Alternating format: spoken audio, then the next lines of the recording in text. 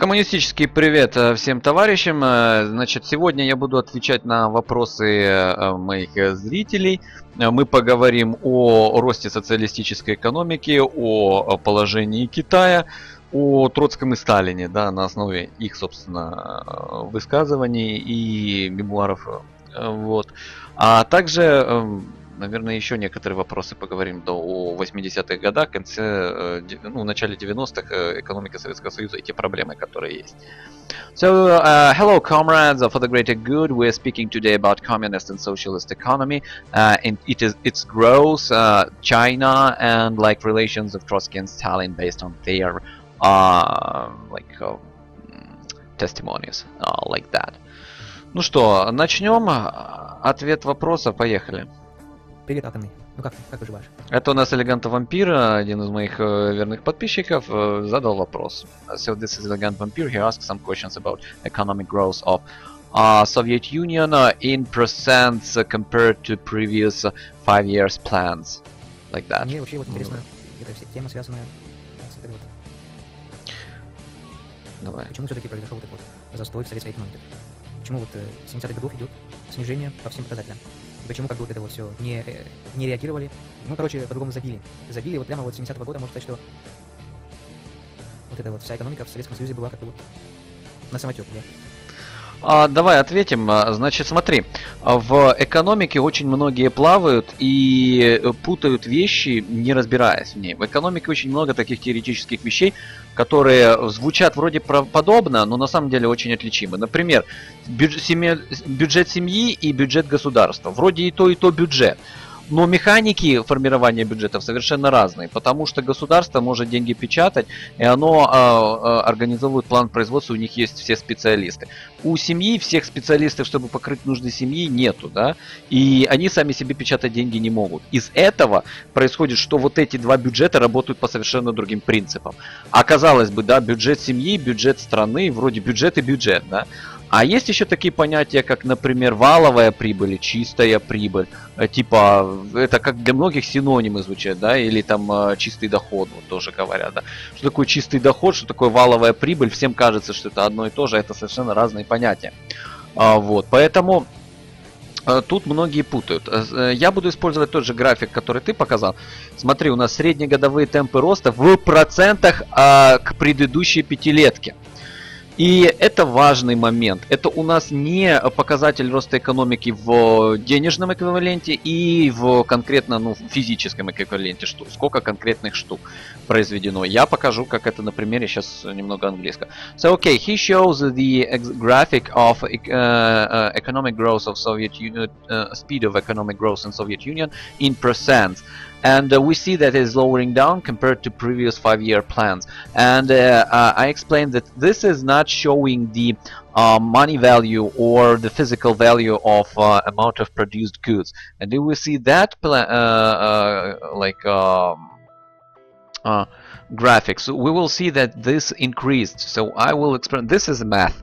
And well I hope people understand some math so I will explain one in percent uh, the uh, uh, percentage of economic growth like uh, looks like it's uh, falling down. But actually if we uh, look at the physical values or in money counting the production is really growing and faster than the previous years А, в общем, смотри, давай возьмем таким образом. Вот у тебя есть 1 миллион э, советских рублей. Э, таким образом, да, 1 миллион советских рублей.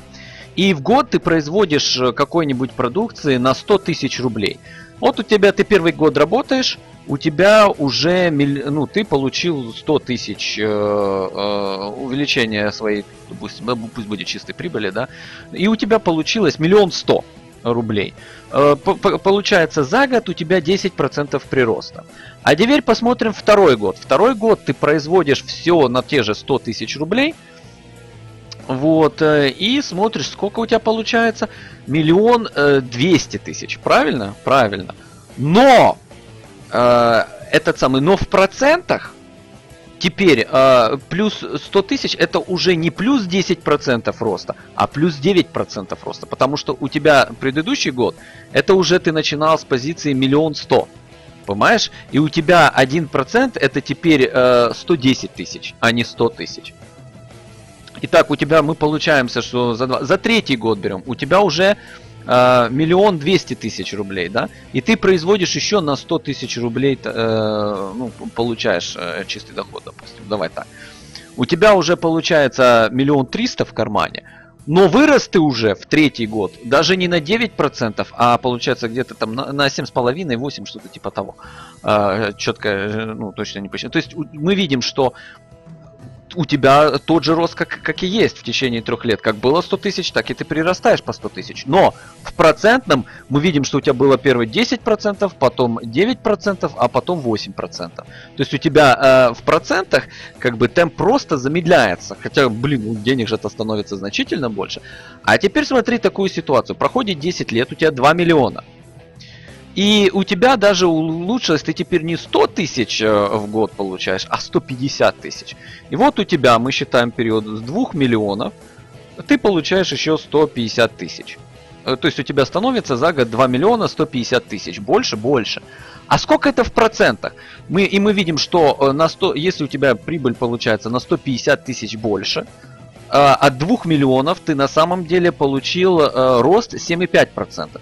Итак, когда у тебя был 1 миллион, и ты э, получил 100 тысяч прибыли, то есть у тебя и меньше денег было, и меньше темп э, роста был, именно физический, у тебя был прирост 10%. А когда у тебя стало 2 миллиона, и ты уже получаешь по 150 тысяч, то у тебя получается прирост 7,5%. Меньше.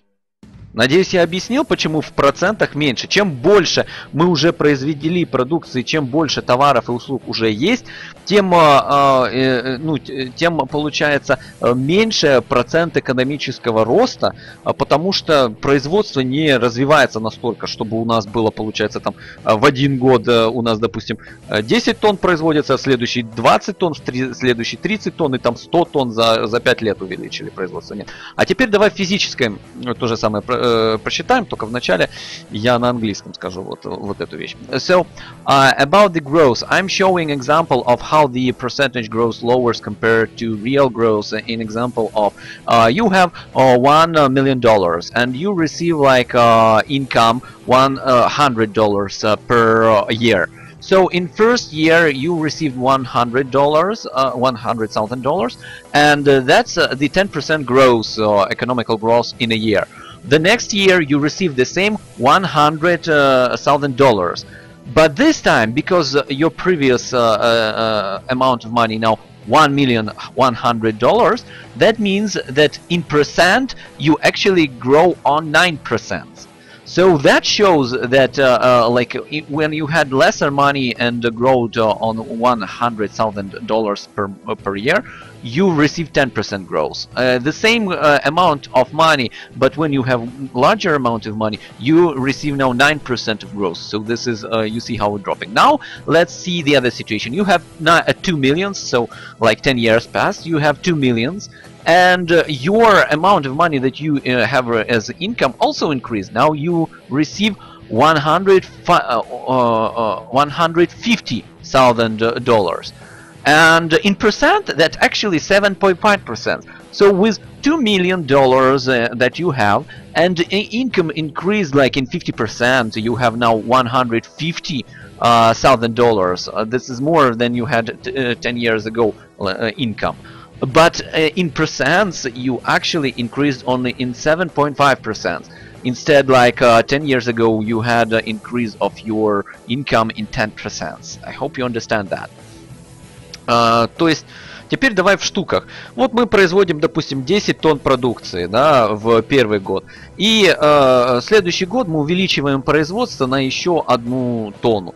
Э, вернее, мы за год, ну, допустим, одну, одну тонну чего-то произвели. У нас было 10 тонн, мы одну тонну произвели, у нас теперь 11 тонн. У нас за год произошел рост на сколько? На 10%. Еще одну тонну производим, у нас уже 12 тонн, но так как мы с 11 тонн считали, и у нас 1,1 тонны, э, это э, этот самый, как его, 1%, да, вернее, э, это у нас не 1%, а как и, а 10%, то у нас получается на одну тонну рост это 0,9%. То есть у нас рост получается в процентах меньше. Теперь 2 тонны и мы полторы тонны производим, и у нас получается рост 7,5% в год. То есть видим, да, и в физическом выражении тот же самый принцип. Uh, so in physical uh, uh, grow, economical growth, the same example. So you have, for example, 10 tons of some products and produce one ton uh, in a year. So you have like uh, on a on the second year 11 tons of uh, um, uh, of uh, goods and uh, this is like 10% more than you had in previous year. And now you have a gain or plus one ton in the next year.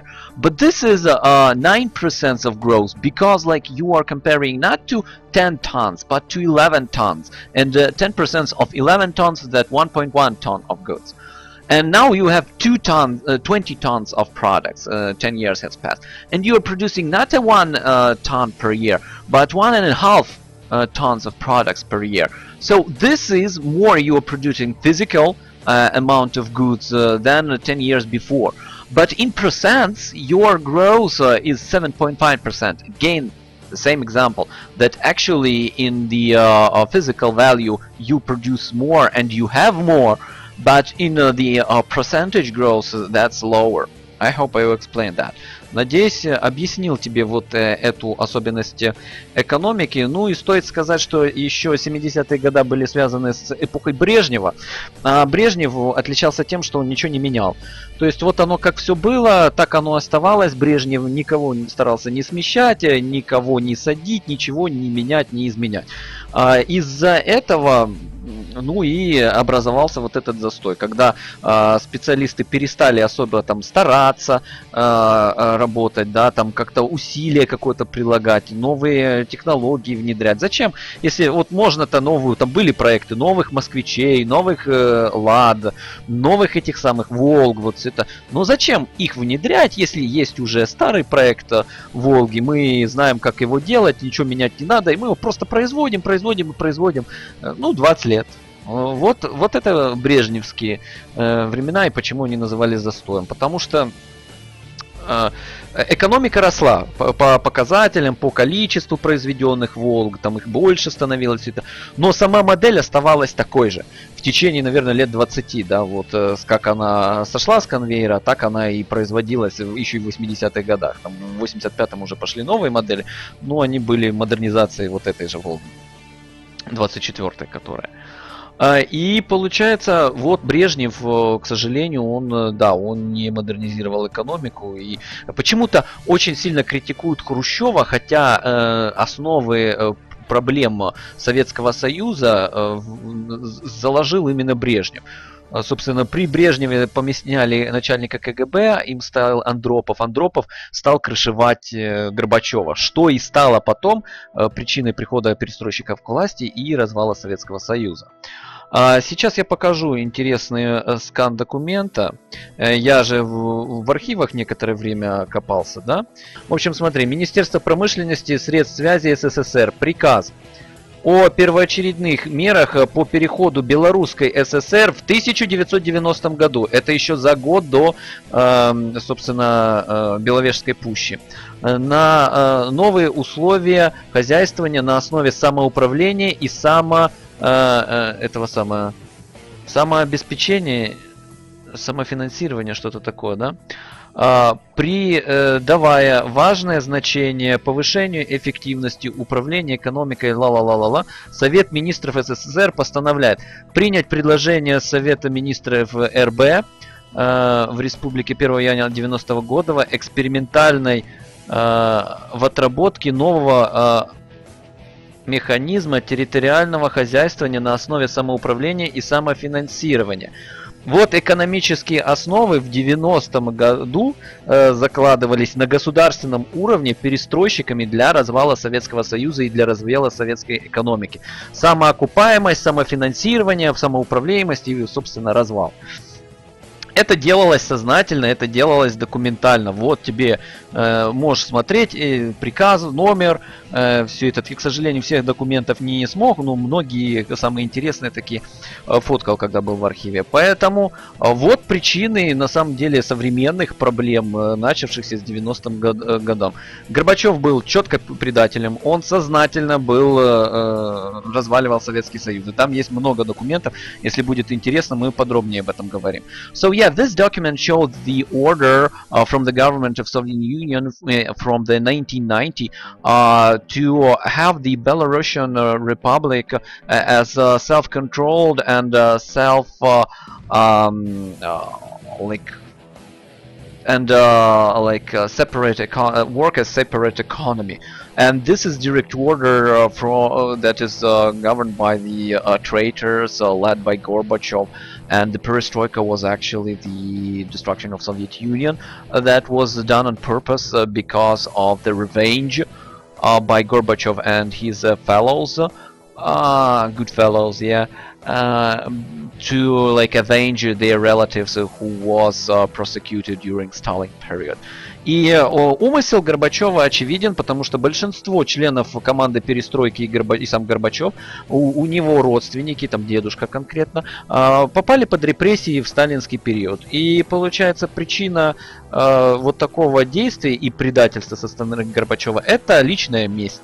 То есть, ну, ему не было смысла предавать и разваливать Советский Союз э, в связи с тем, что там денег больше получит или еще что-то, нет. Но вот мотив личной мести это конкретно то, та причина, по которой перестройщики во главе с Горбачевым разваливали Советский Союз. Надеюсь, я объяснил, мне интересно, как ты это воспринимаешь информацию, какие твои мысли, вот, если сможешь, напиши.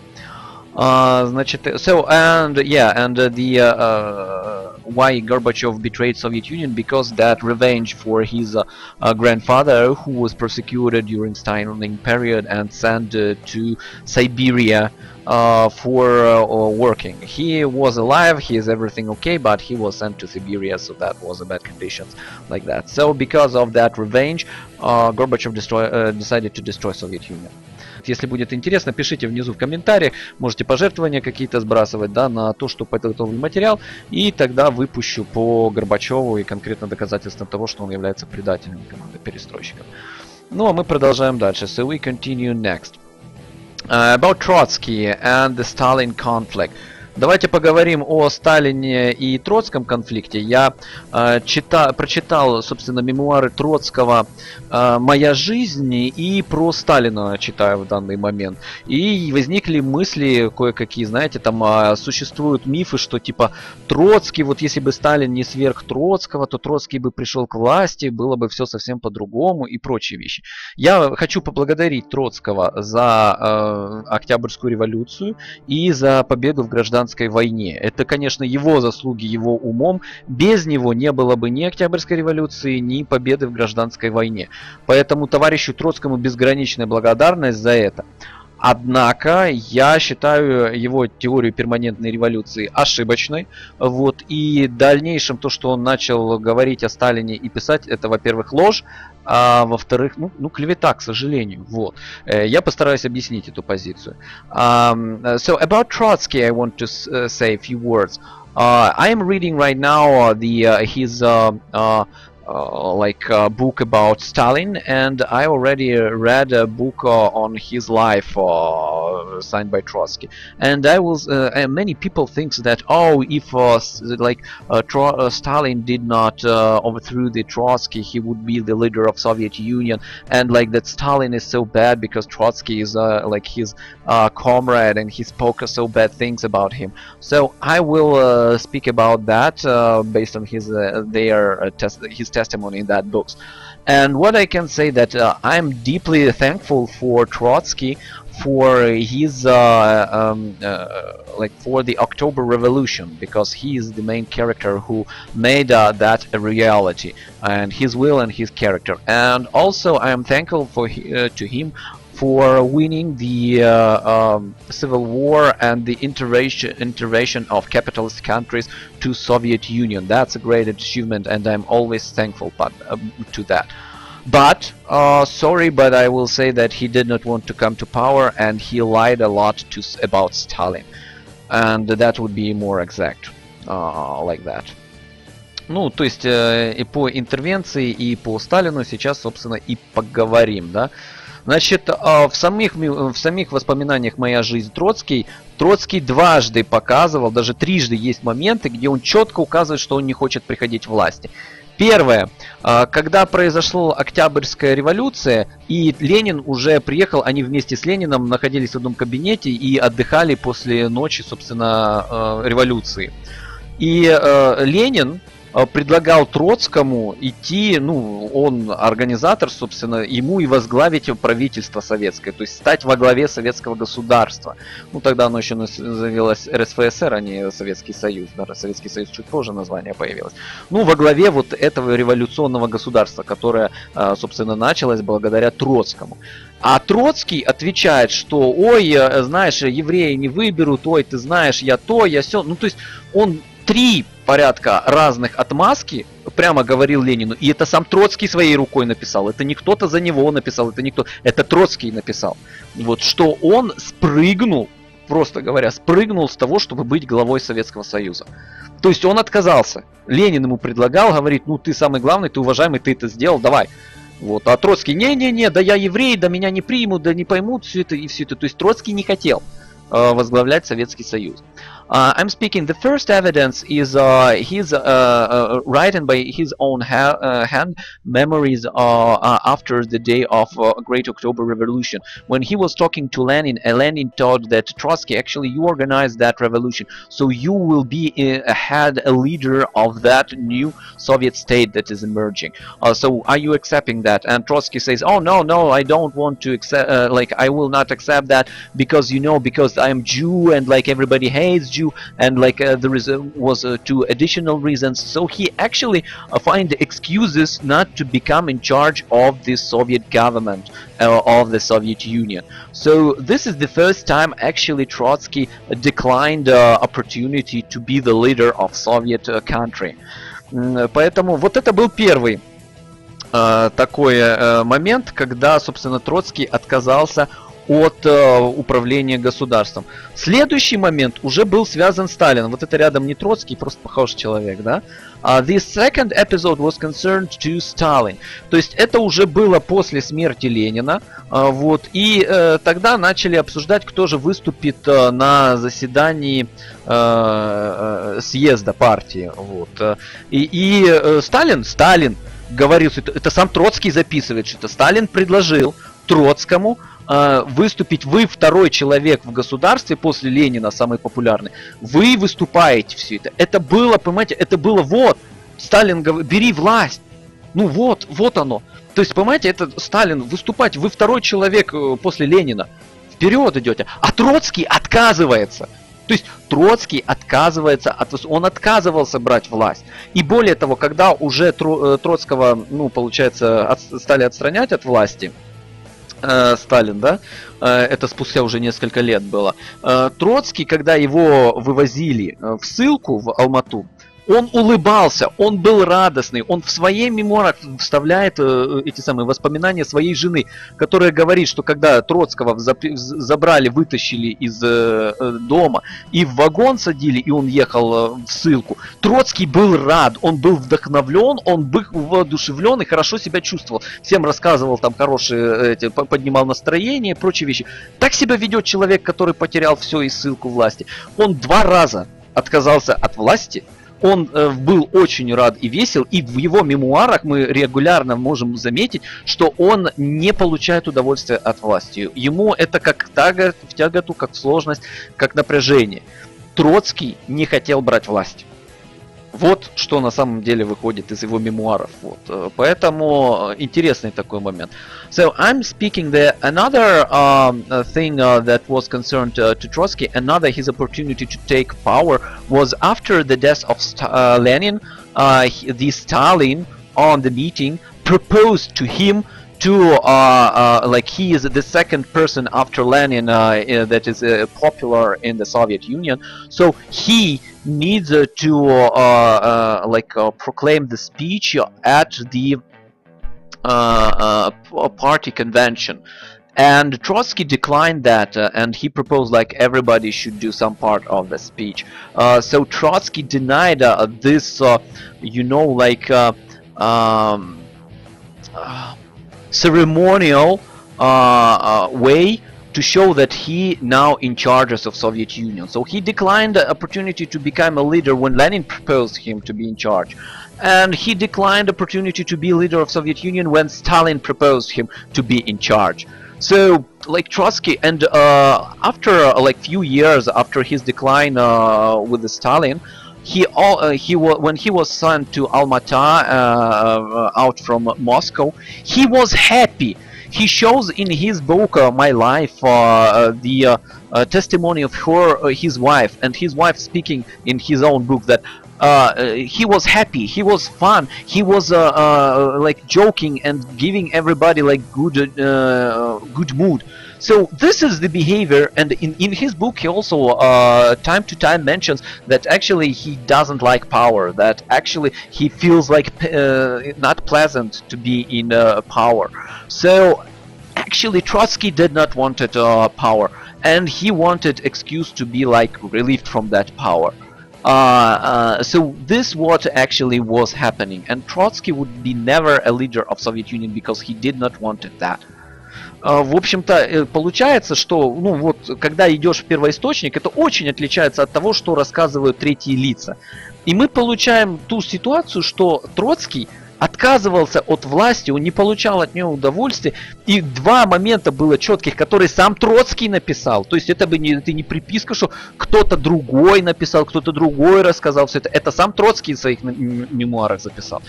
Он два раза отказывался от власти, когда Ленин предлагал и когда Сталин предлагал. Вот. И кроме того, он на Сталина, о, это Сталин предлагает мне э, выступить с речью, это у него какие-то коварные игры, какие-то коварные манипуляции. То есть Троцкий вот так вот писал. Все это, ну блин, предлагает, чувак, я не вижу здесь манипуляции, если вот читай, ты второй человек в партии, поэтому не вижу э, такой штуки.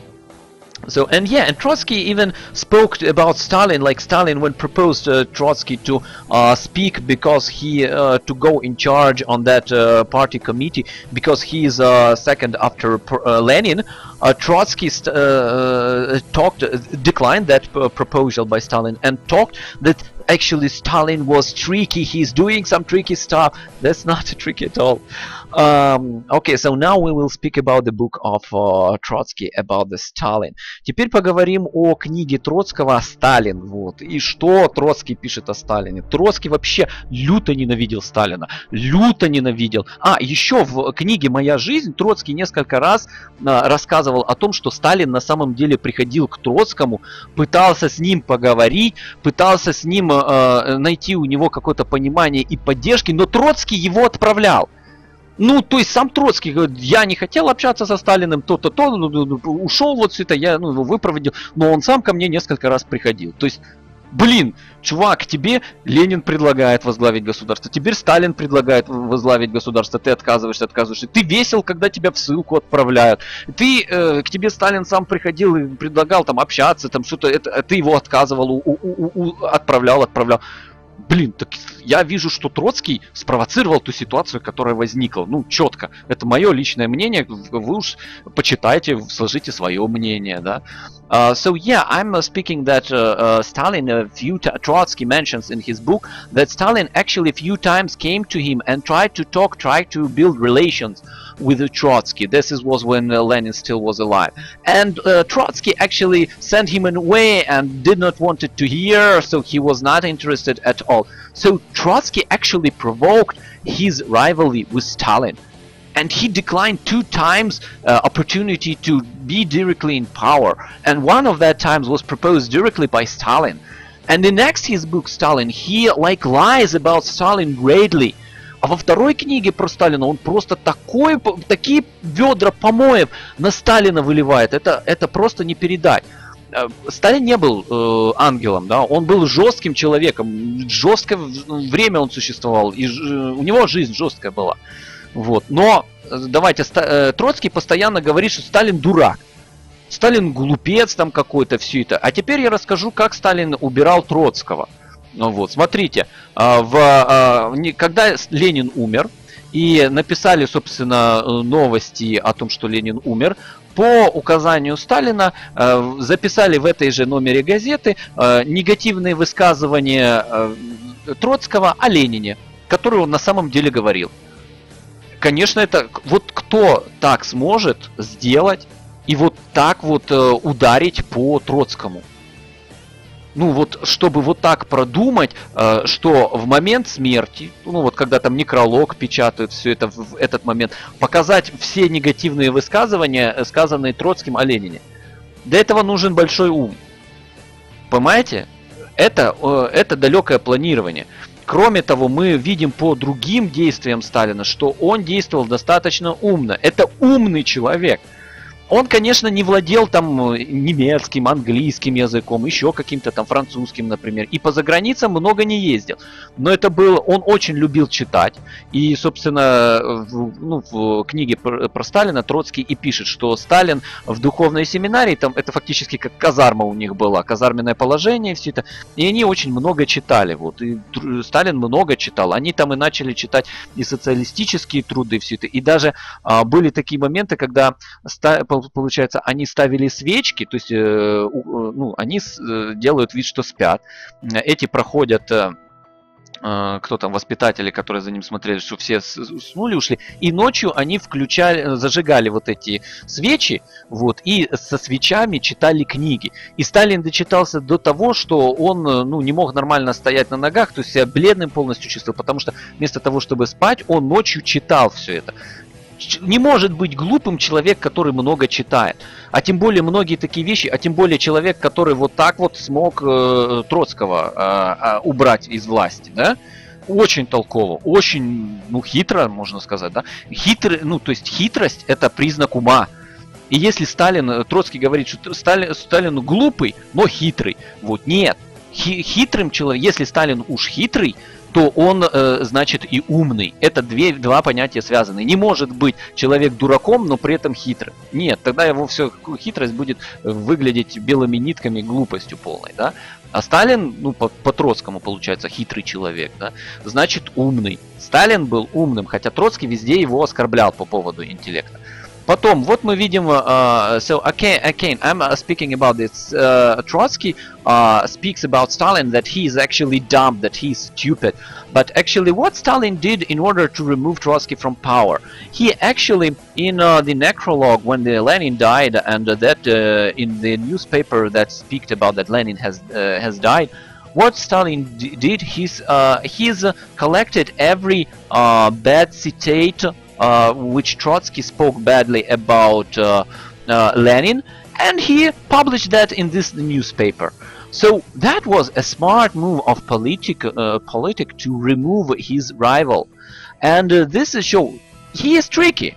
Yeah, Stalin is tricky, but the trickery is the uh, uh, uh, like the trait of the smart person. Stalin was genius and he was smart. He was another way. He was not that like a kind of speaking German, speaking English, speaking French. He was never in uh, other countries. But he was reading a lot because his childhood, this is again written by Trotsky, was uh, in the um, uh, uh, like uh, uh, church school uh, when he lived a full day in that school. Uh, so he would be a priest uh, in future. And in that school, when everybody got to sleep, uh, they took uh, the candles, lighted them, and in the night uh, read a book books about socialism and communism. And uh, Stalin was reading so much that he even like uh, was uh, ill because of lack of sleepery. like that. so that's again written in the Trotsky's book compared to Stalin. Следующее, что говорит Троц, Троцкий о Сталине, что Сталин был некрасивым уродом, что у него там какие-то генетические мутации, что он вообще какой-то, ну, такой, ну, урод из уродов, да. Хотя мы смотрим вот его фотографии поздние, даже не юные все это, нормальное лицо обычный человек. Мы не скажем, что он какой-то фотомодельной внешности, все это, но обычный человек. So another thing uh, that uh, Trotsky actually written in his book about Stalin that uh, Stalin is looking so awful. He has genetic mutations, he has problems, etc., etc. That he's so ill, he is so uh, genetic that he's so horrifying. But actually, when we see the pictures of Stalin, he is normal person. No, no, is not like a model, but he is okay. He is normal. For his age, for we are not uh, taking his young uh, photos when he was uh, better, but these photos of him old, he's okay, he's normal person. Поэтому, ну блин, вот еще а, такой штрих. То есть, понимаете, и упоминать какие-то медицинские проблемы, что там у человека есть какая-то медицинская проблема, прочие вещи. Ну это ведь подло. Какая медицинская проблема имеет отношение, вот даже если у него там обветренное от оспы лицо, как говорил а, Троцкий, да? Какое отношение Оспа имеет к тому, что э, как Сталин управляет? Или что у него было там два сросшихся пальца каких-то? Какие, хорошо, два сросшихся пальца, допустим, представим, у Сталина два сросшихся пальца. Как это влияет на его управление страной? Никак. Но точно так же Рузвельт был инвалидом и был прекрасным президентом для США. Для США. Вот. Как оно так получилось? То есть вот эти э, э, болезни, они никак не влияют. Но Троцкий вот это, понимаете, вот лишь бы очернить, сделать такую вот пакость. And I'm speaking like Trotsky mentioned about like genetic illnesses, problem of fingers, like uh, uh, this is the diseases that not influences uh, any uh, possibility to rule. And you know that Roosevelt, uh, the president of USA, he has also problems. He was an invalid person, but he ruled the country nicely. So those medical problems that uh, Trotsky speaks about Stalin, they do not influence at all his ability to govern. So that was just uh, showing how Trotsky actually hates Stalin. Uh, and that's awful. И это просто ужасно, просто ужасно. Вот. Э, поэтому э, Сталин, он был очень трудолюбив, и Сталин занимался очень много культурой. Вот э, четко можно увидеть, что Сталин, вот все его театральные постановки, развитие кино в Советском Союзе, которое шло непосредственно под курированием товарища Сталина, его вот эти выступления там разные, когда множество спортсменов собирали, вот это наследие этих выступлений можно в КНДР увидеть, вот там большие такие, когда люди собираются, и там разные балеты он называется, какой-то там северокорейский, да, когда там 100 тысяч людей собираются и разные показывают там фигуры, построения, прочие вещи. Это все закладывал товарищ Сталин. И скажите, э, может ли такую культуру создать вот и э, так внимательно относиться к культуре и архитектуру столь красивую человек, у которого нету вкуса, который просто какой-то дурачок? Все это нет, конечно же. Конечно же, Сталин был умным человеком. Вот. Конечно, он был жестким он э, это не тот человек, с которым можно там поцеремониться или как-то так все это. Он очень жестким был и очень требовательным. Вот э, под ним было сложно многим людям, а, потому что э, ну под его управлением, потому что он ну некоторые работали по круглосуточно на заводах и все это. Он ценил вот таких трудоголиков.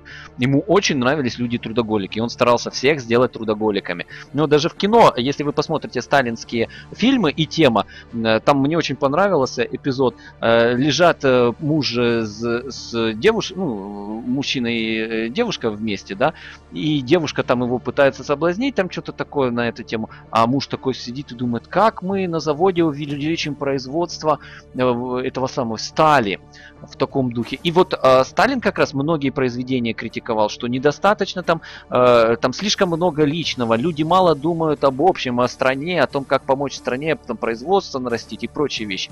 Это были конкретно темы Сталина. А песни какие сталинского периода, да, там, где мы рек можем изменить маршрут, здравствуй, товарищ труд, вот, и, и звезды наши алые сверкают небывалые над всеми странами, осуществленную мечтой. Герб, э, э, гимн сталинский тоже. Сталин очень много э, приделял внимания культуре. А, вот. И многие вещи, которые Сталин э, делал, они правильны. Конечно, как и у любого человека, у него были и ошибки, и перегибы, к сожалению, были. Вот. Но тем не менее, это очень э, умный человек, даже гениальный. Вот. А, и ну, он явно был верен ленинским принципам. Кстати, еще интересный момент. Троцкий все время пытается примазаться, что он а, ленинец, вот, а Сталин нет. Но на самом деле э, больш... ну, Сталин а, вот что за что Троцкий критиковал Сталина, что Сталин не может придумать своих идей. Another point of criticism uh, by Trotsky to Stalin that uh, Stalin actually cannot uh, uh, like invent his own ideas, and uh, this is like the shown of his stupidity. And he uh, and Trotsky always speaks about that Trotsky actually was the true Leninist. Uh, but in his memoirs, Trotsky definitely shows that uh, many times he contradicts Lenin. And actually, what what I can say that Trotsky has his own opinion, and he so time to time he was allied with Lenin. Uh, he definitely get, get, get good relations with Lenin. Uh, he coordinated his uh, actions with Lenin. That's uh, that definitely. But time to time they had different opinion, and that's okay for smart persons. so Trotsky had his own position, while Stalin, uh, in that questions, always followed what Lenin told, and he was always on the side of Lenin, and he always supported the Lenin ideas the other way that when Lenin was ill uh, actually and then returned back to govern he was, saw what Stalin was doing and he said eh, hey uh, Stalin you're doing not that's the right thing you're doing wrong thing. Uh, so when uh, Stalin had no direct orders from Lenin yeah he improvised and that was different from what uh, uh, Lenin wanted to do.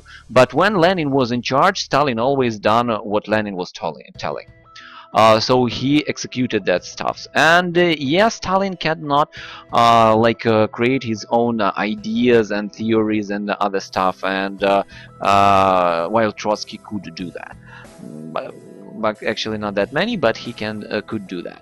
В общем-то, и получается, у Сталина практический ум был, то есть он нацеленный на решение практических задач, какой будет практический результат. Он не был так силен в теории, как Троцкий. И Сталин выступал похуже, чем Троцкий. У него было нормальное выступление. То есть Троцкий его унижает, что Сталин вообще, он ничего не может двух слов связать, все это. Но если вы послушаете речи Сталина, э, Сталин разговаривает нормально. Но это, конечно, не э, пример там мирового э, речи, как там Цезарь говорил, или как говорил Наполеон, да. То есть с точки зрения оратора Сталин слабее выступал, чем Троцкий. Но это выступления были вполне нормальные, вполне ну, нормальные. То есть это не так, что Троцкий говорит, ой, да он вообще двух слов не может сказать. Нет, он нормально говорил вот все это. Просто это не такие зажигающие речи и не такие, чтобы прямо, знаете, в аналы истории войти. А, поэтому, ну, таким образом. И вот э, теорию, конечно, обосновывать Сталин, ну, ему было сложно. А вот практические вопросы Сталин конкретно решал, и он занимался этим очень наглядно и очень качественно. А, что еще стоит сказать по а, э, конфликту? А, Троцкий в своих мемуарах постоянно говорит, что он с Лениным, он предугадывал мысли Ленина, он вообще он такой, как Ленин, он верный продолжатель Ленина. Но в этих же мемуарах Троцкий регулярно указывает, что по многим вопросам у него была своя точка зрения. А, в каких-то моментах он прислушивался потом к Ленину, в каких-то моментах Ленин менял точку зрения и принимал точку зрения Троцкого. Это нормальная э, ну, взаимоотношения между умными людьми, у которых свои головы на плечах, и каждый думает вот и предлагает свои идеи. Иногда такое бывает, да, что разные концепции, разные подходы, и тут уже кто будет прав, кто свою точку зрения воплотит, да. Поэтому такое, у, Ле, у Сталина другой подход. подход. Сталин всегда слушал, что говорит Ленин, и выполнял то, что говорит Ленин. Многие сталинские действия, которые были уже после смерти Ленина, это были продолжение и выполнение слов Ленина. А, вот таким вот образом. И, э, но э, был период, когда вот Ленин первый раз заболел, его удар хватил, а потом он восстановился. И когда Ленин восстановился и начал смотреть, что же начало делать э, советское бюро без его участия, в том числе Сталин уже был э, ближе к власти, ну, фактически третьим, наверное, лицом в стране, хотя там, может, четвертым где-то, в пятерке наиболее известных э, коммунистов Советского Союза, да. И он, э, Сталин, Ленин, начал критиковать. То есть без э, непосредственного руководства э, Ленина Сталин начинал больше делать ну, другие вещи не так, как бы делал бы Ленин. Да. А, но при этом, как только получал правильные ну, указания Ленина, он четко действовал по указаниям Ленина. Вот кинематограф развивал он по указанию Ленина. А потом, в том числе, репрессии, которые он проводил и прочие вещи, он делал так, как это указывал в свое время Ленин. Вот. Поэтому, ну, на самом деле, Сталин э, гораздо ближе к Ленину, чем Троцкий.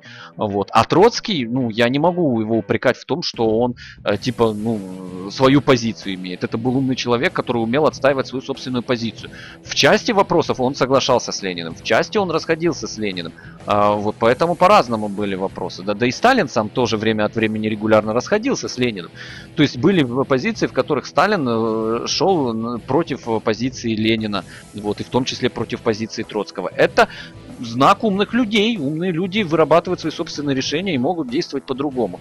Поэтому в этом плане, знаете, у каждого была своя голова на плечах. Троцкий более ярко выступал самостоятельно, вот. Ну, Сталин точно так же выступал. И говорить, что Сталин это ленинец или а, Троцкий это ленинец, это неправильно, вот. А, это уже самостоятельные политики, у которых э, свои собственные э, видения есть. И как э, Троцкий выполнял какие-то э, вещи и согласен был с Лениным, так и Сталин был э, в многих вопросах согласен с Лениным, да. Но были и те вопросы, где и Сталин, и Троцкий от, э, ну, по-другому относились к вопросам, чем к Ленин. Вот. Э, и Ленин тоже не всегда был прав, он тоже время от времени ошибался. Вот. Но это гениальный. Просто, понимаете, свойства гениев они ошибаются гораздо меньше, чем другие люди, и гораздо чаще они правы. А, поэтому, ну, вот такое, это общение умных людей. А, поэтому интересно так смотреть. А дальше мы поговорим про этого самого, про жестокость Сталина. Вот, об этом вопросе коснемся. So the next thing we will talk about the cruelty of Stalin, but before of that we will uh, uh, speak about who was the true Leninist, Stalin or Trotsky? Because Trotsky in his uh, uh memoirs uh, always says that he is true Leninist, uh, that he, he, follows Lenin. But in, in, his memoirs he also mentions that in many times his point of view was different from Lenin. Sometimes Lenin was wrong, and sometimes Lenin adopted the policy and the thoughts of Trotsky. Uh, and uh, this uh, this was almost yeah. So the Trotsky actually was his own person with his own mind that sometimes was with his own ideas and sometimes he followed Lenin's ideas. so that was different. About Stalin, Stalin he speaks that he is true Leninist, but actually we see from the documents and what he is doing that uh, uh, in many cases uh, Stalin did what uh, Lenin told, but the same many cases uh, Len uh, Stalin did different things that was not was Lenin intended. So actually Stalin was also on his own way. In some cases he says he was agreeing with Lenin and definitely followed the line of Lenin. But in uh, other cases, uh, he had his own mind and uh, followed in his own like Stalinist line. Yeah. so this is how it was. I hope you understand. So about cruelty, uh, that uh, Trotsky speaks about the Stalin's cruelty, we also will speak about that. So this is the rare uh, color videos of Trotsky. Вот у нас достаточно редкое видео Троцкого в цвете, да.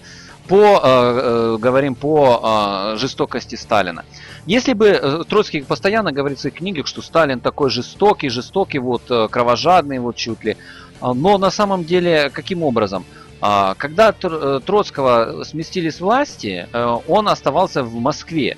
Затем э, Троцкий начал выступать и пытаться пере, ну, убрать правительство Сталина, вот, э, при этом самому не приходя к власти, да, он не хотел потому что приходить к власти, но ему не нравился лично Сталин, он хотел убрать Сталина.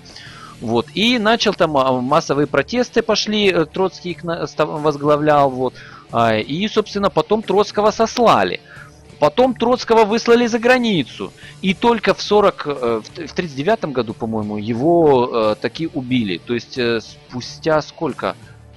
Когда начались? В 32-м? Ну, почти 10 лет прошло. А какого года Троцкого убили? Сейчас посмотрим. Ага, посмотрел. А, Троцкого убили в сороковом году, а, вот, то есть э, спустя 10 лет, как э, началась борьба со Сталином. Если бы Сталин был реально кровожадный, он бы в первый момент, как только начал бороться за власть, также пришил бы, закопал бы Троцкого и все. Ну, то есть, если бы он был реально кровожадный. На самом деле, э, Сталин испытывал уважение к Троцкому за Октябрьскую революцию и за многие вещи. А, но Троцкий ненавидел Сталина и постоянно нападал на Сталина, постоянно подрывал власть Сталина. А, ну, Сталин не мог этого терпеть. Вот. И вначале пытались просто снять его с постов, потом он начал э, поднимать вот эти митинги, он, э, его сослали в Алмату, он там начинал действовать все это, его выслали за границу, и спустя 10 лет его только ну, убили. Да, спустя уже множество книг и пакостей, которые он понаписывал, причем абсолютной лжи. И все это. Это говорит о том, э, что ну, на самом деле товарищ Сталин не хотел вот так вот кровожадно всех валить, мочить и прочие вещи. Скорее всего, это было вынужденное обстоятельство для э, Сталина. Вот. И э, к сожалению, вот такая вот трагедия произошла. Если бы Троцкий молчал, если бы Троцкий не начал вот эту... Да ладно, он бы говорил бы просто правду, что там Сталин, допустим, поступил подло, да. Вот, кстати, редкий кадр, когда Троцкий во главе, а Сталин э, стоит э, на окраине, да. Так вот, на трибуне, да. А, то есть, э, если бы Троцкий просто успокоился, себе бы писал бы книжки или там э, не поднимал бы на роги на митинг, он бы себе дальше спокойно жил. Но Троцкий э, продолжал вот эту всю истерию, продолжал нагнетать ситуацию и э, как бы перевернуть власть пытался. Ну, вот и поплатился за это, к сожалению. При этом сам он не хотел брать власть. Он хотел, ну, получается, если бы он продолжал делать то, что делает, то получился бы новый виток хаоса в стране. И кажется странным, да, что Троцкий контрреволюционер, потому что он именно создал революцию, да. Но, скажем так, что Троцкий Э, ну, не э, стабилизировал бы ситуацию в стране и э, привел бы к новым волнениям и к новому витку неспокойства в стране и экономических проблем, к сожалению. А, вот, поэтому, ну, вот такая вот э, проблема вышла. Uh, so I'm speaking that actually Trotsky uh, always pointed uh, that uh, Stalin is uh, so bloody and he want to like do everything bloody. So if Stalin so bloody, if he actually was so violent, he executed Trotsky right when he wanted to, to get, to came in power, like uh, in the beginning of the 30s, not in the 40s. Uh, uh, but actually what Stalin did, so first he removed him from power and uh, let him stay in Moscow. Then, uh, when the Trotsky tried to rise a rebellion inside the Moscow, Stalin took him and sent him to Almaty to send him uh, away from uh, the Moscow, so he will be calm. But from there, Trotsky again started to plotting something. So Stalin proposed, okay, go away to another country. we are sending you out of country. So this shows that actually Stalin did not want to kill Trotsky, and he was not that bloody murderer as uh, many people say uh, and portrays, especially the capitalists who lies about uh, Comrade Stalin uh, a lot.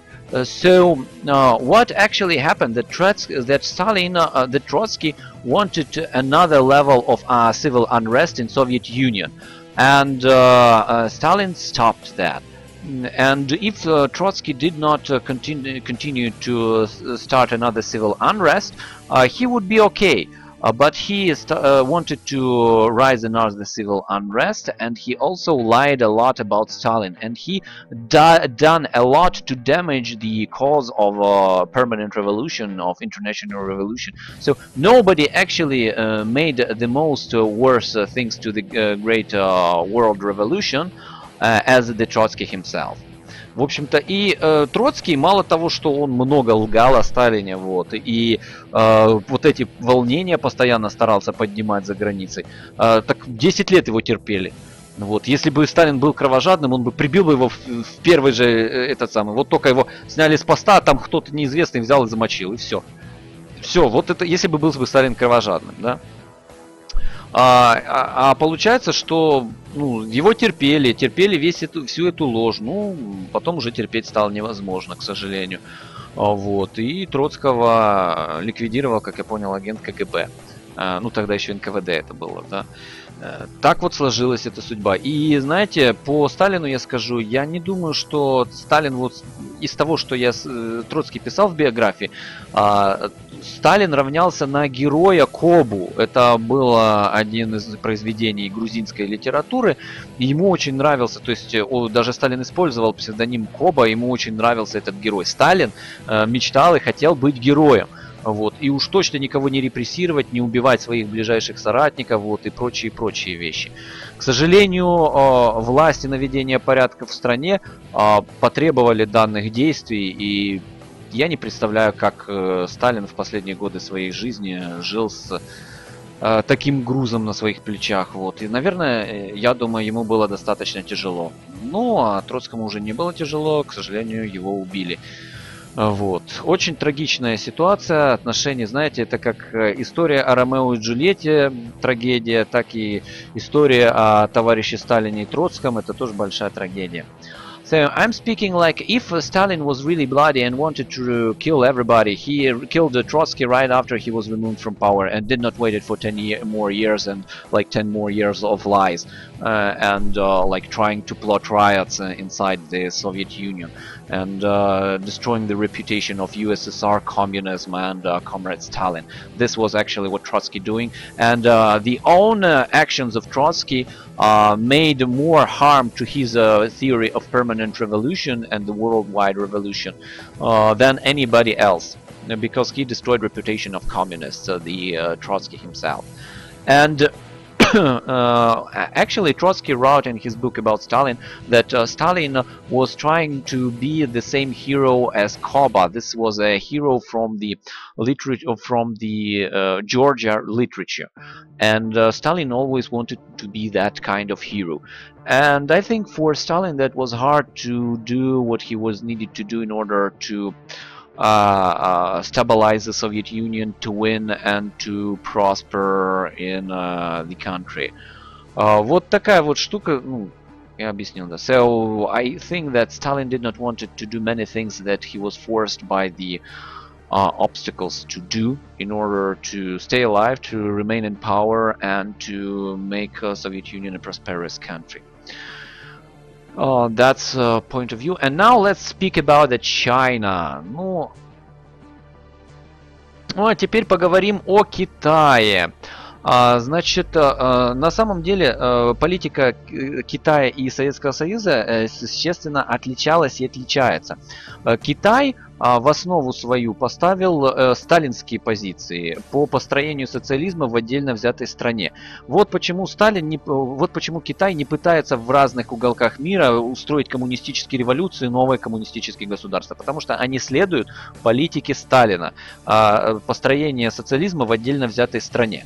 Теперь, почему при Сталине Советский Союз сам не следовал этому же принципу построения социализма в отдельно взятой стране? А потому что было большое количество троцкистов, которые продолжали идею мировой революции.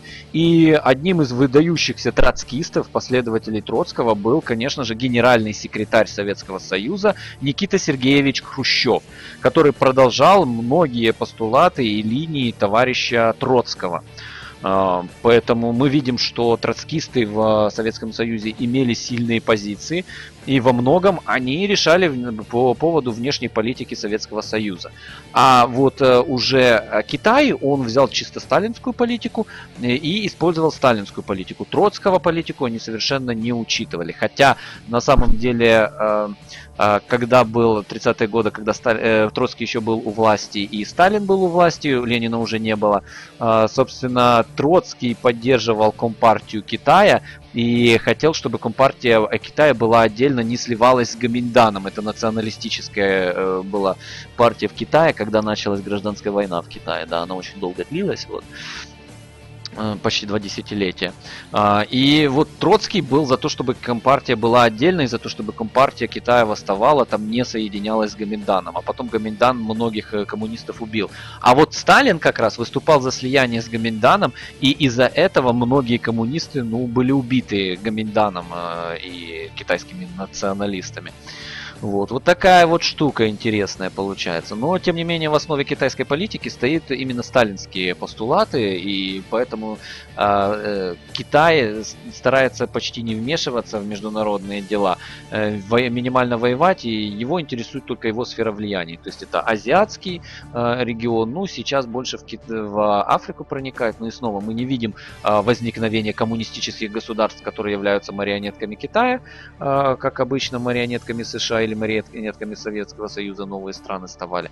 А, у Китая самостоятельная политика, и у него есть свои союзники страны. Это Северная Корея, это эм, э, Китай, ой, это Вьетнам, это Лаос, вот, э, вот это коммунистические страны. Да? Э, с Кубой даже Китай так сильно не сотрудничает, вот. хотя там э, коммунистический режим, и Китаю было бы выгодно да, э, иметь рычаг на э, США таким образом. Э, но даже в африканских странах, где Китай влияние очень сильно не возникают новые коммунистические государства, потому что Китай выполняет политику Сталина. Коммунизм в отдельно взятой стране. So I'm speaking that China actually uh, continues the uh, Stalin policy about uh, building communism in one state. And uh, this is different from what Soviet Union was because uh, though this, the Stalin was ruling over Soviet Union, but because uh, there was uh, strong positions of Trotskyists inside the Soviet Union, uh, Soviet Union actually followed the policy of Trotsky, uh, and he like invaded in other countries. He tried to liberate other countries and build communist regimes over there and over communist governments. and like the famous follower of Trotsky in Soviet Union was the General Secretary Nikita Khrushchev. He continued the line and the positions of Trotsky in the Soviet Union. Uh, so that's uh, true development. While the uh, uh China actually continues the policy of uh, Stalin of building socialism and communism in a single state and uh, its like satellites. I'm speaking about Korea and Vietnam and Laos. Uh, the China do not seriously uh, cooperate even with the communist Cuba. Um, but like uh, th though the economical influence on Africa, China's uh, economical influence of on Africa is very strong, but we do not see appearance of uh, new communist states uh, like uh, the Soviet Union was doing. The China approach is different. It is because they follow more the Stalin line of building uh, communism and socialism in single in their own country, and actually that's a, a kind of um, interesting because Stalin uh, in the uh, uh, when Lenin died and there was a rivalry in power between Trotsky and Stalin. so Stalin actually proposed communists of China to cooperate with the Kuomintang, with the nationalists of China and actually that uh, led to bloodshed uh, that uh, in, in which many of communists of China actually was killed. but Trotsky uh, actually in that period he was uh, for uh, Communist Party being independent from Kuomintang and like uh, Communist Party of China taking in power and creating Soviets in China in the uh, beginning of the 30s. Mm, so that's interesting, but in the meanwhile, the China selected the Stalin policy and its basis. so this is some words about China, modern China, and the Stalin and Trotsky conflict. I hope you will write down what you're thinking about that, and I can create if you donate some monies and uh, etc.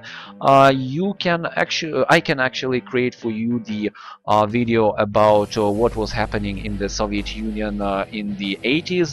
No, there was no economical like fall or something like that that is showing by Western propaganda. That's lies Western propaganda, and based on on the archive documents I can prove that. Uh, so if you are interested, you can write down and uh, support me. Поэтому вот таким образом а, вы можете меня поддержать, э, вы можете за, за, пожертвовать денежку э, за то, что я делаю, и, собственно, я могу подготовить материалы на основе архивных документов э, вот, по конкретно 80-м годам Советского Союза, что происходило в экономике. А, была полная ложь по поводу там какого-то деградации экономики и прочие вещи. Реальные проблемы начались с перестройщиками, когда они специально осознанно стали разваливать экономику.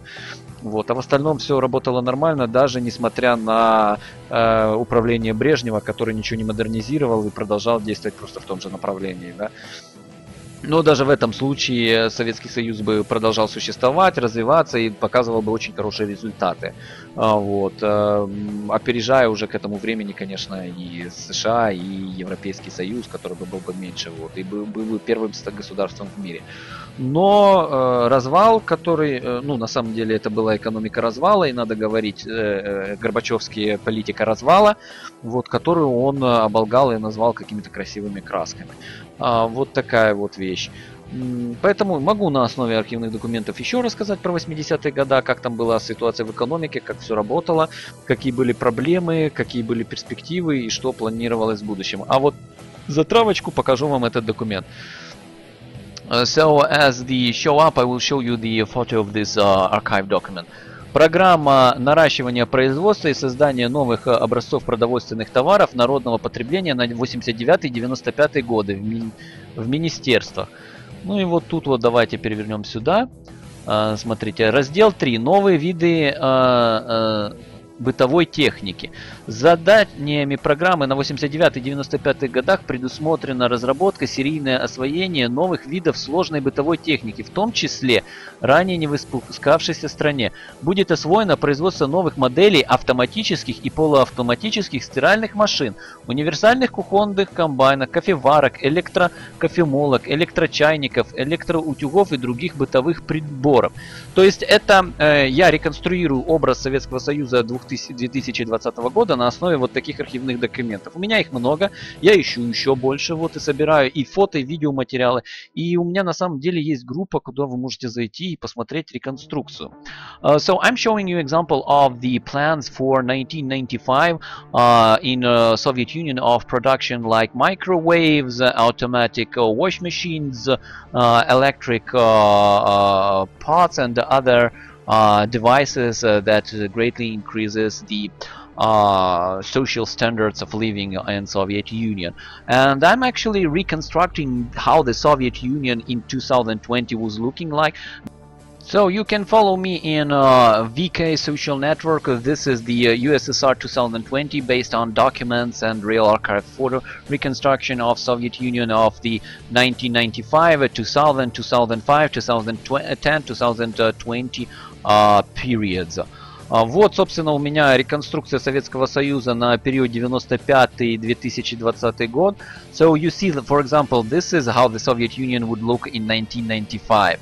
Вот, например, на основе реальных фотографий, проектов, образ Советского Союза в 95 году, как он выглядит. Э, это основано на архивных документах, на отмененных проектах и многих других. Все это собирается вместе, и вот создается такой единый образ настоящего Советского Союза. То есть это научный подход. Да, самые последние упоминания, какие я встречал, то есть были 20-летние планы для э, стран э, экономи... ну, Варшавского договора, экономического совета вза... экономической взаимопомощи СЭФ и для Советского Союза. Уже в 80-х годах пошли 20-летние планы. То есть все помнят только 5-летние, но были и 20-летние планы. И самые э, даты, которые я видел, самые далекие в советских документах было, это 2015 год.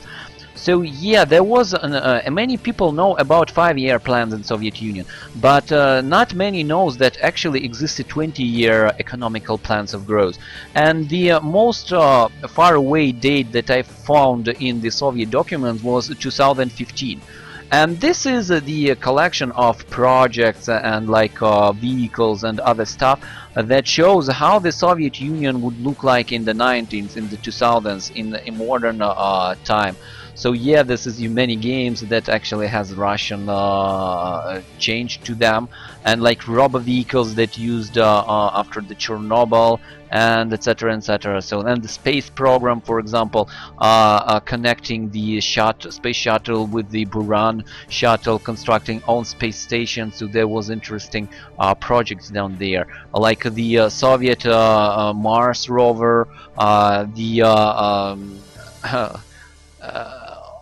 and building of uh, second Mir space station, the two uh, shuttle and Buran landing together. So that's uh, quite interesting, and it was truly different from what we have in reality. Like uh, uh, meeting the Buran with the Soyuz spacecraft, docking so Buran to Mir space station. there was interesting projects that, and it would be looking really different. В общем-то, реконструкция очень точная. То есть и тут и у вас и космонавтика у меня реконструирована, то есть советские марсоходы, э, вот, э, проекты по Бурану, например, встреча двух Буранов на орбите, встреча Шатла и Бурана на орбите, как это была программа Союз Аполлон, да, совместные вот э, полеты соображение станции Мир-1, эвакуация поврежденного блока с, ми с первого мира, перестыковка, пересборка мир модулей Мир-1 на Мир-2, Э, там много было интересных таких вещей, и это бы выглядело бы, конечно, совсем иначе, а, чем то, что мы получили. И все это документально, понимаете, подтверждено. Я даже ухудшал, я делал хуже, чем записано в документах и в планах, чтобы, ну, потому что, блин, э, да и так это, в принципе, смотрится очень фантастически, да, для людей. Вот машины, смотрите, это вот так бы выглядел э, простой быт уже в 2000-х годах, да, я уже не говорю про современность.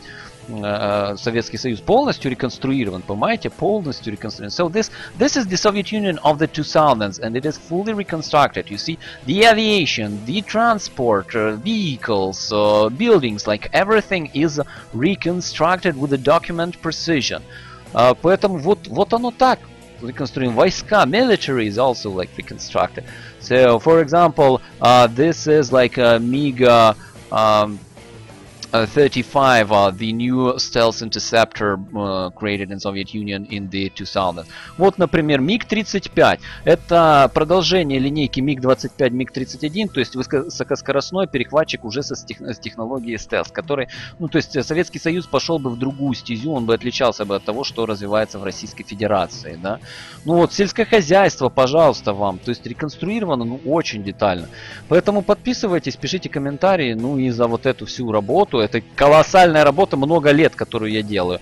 А, вот, э, я бы, я с удовольствием приму вашу благодарность. Вот, э, в виде денег, в виде даже готов принять, если у вас есть э, советские, допустим, там остались автоматические стиралки, компьютеры, микроволновки, а это все производилось в Советском Союзе. С удовольствием приму, вот, и готов реконструировать э, Советский Союз даже в виде вот квартиры конкретной, да. Поэтому таким образом, а, надеюсь, вам понравился этот выпуск и до следующих эпизодов. Задавайте свои вопросы, пишите предложения, комментарии и э, благодарности выражайте в материальной сфере. So okay, uh, this is all for today. Uh, write down your questions, your comments uh, and support uh, my movement uh, so uh, reconstruction of Soviet Union with the material aid. So leave. Uh, by the way, I have the reconstruction of how the Soviet uh, USA would look like. Maybe you would be interested in that. Кстати, у меня же есть реконструкция того, как бы вы, как может выглядеть э, социалистические США.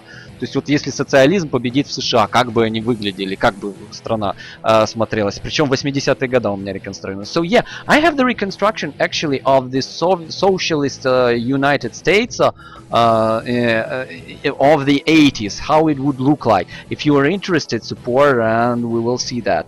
So live long and prosper on the revolution and the victory. Только революция, только победа и до следующего эпизода.